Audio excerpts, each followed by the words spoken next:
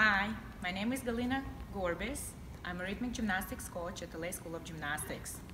And now we're going to go over how to do a proper middle split.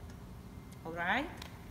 So in middle split, you have to understand that it's basically you between you're gonna make sure that your legs exactly on the sides.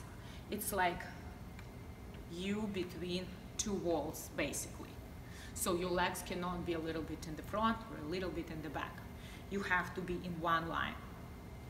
So the common mistake is that there is no straight line. So sometimes I see straddles like this. You see there is no line. Or the straddles like this. This is not a middle split. Middle split, other word, another word you can say straddle. So this is not a middle split. The middle split is when you stretch your hips. So this is what should happen. Where you start in the beginning to stretch frog position. So you cannot start with your butt on your heels. The bottom has to go a little bit forward.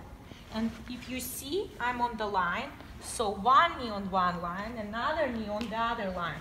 So you can see the perfect line, toes together and heels apart from my bottom. Then when you want to make a middle split, you straight one leg, another leg. That's a perfect middle split, all right? If you see that someone is stretching the frog position like this, this is incorrect. This is nothing happening here because between the hips you have to stretch here. Later, if you see that someone is sitting like this, this is like number one common mistake when uh, the children bending their knees. It's actually making it worse here. It hurts, but it's wrong way of stretching.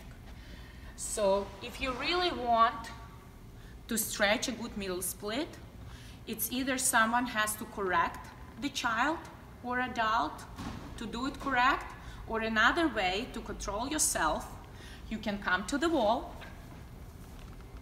you lay down, uh, you lay down on the floor like this, you lift your legs here, okay?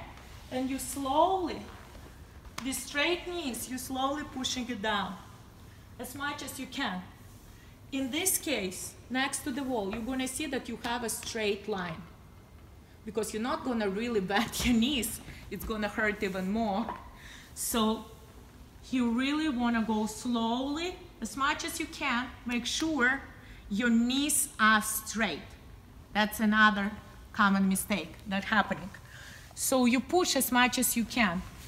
Wherever you can, you stop. If it hurts, and you fix this position. And every day you add more and more and more until you make a perfect middle split.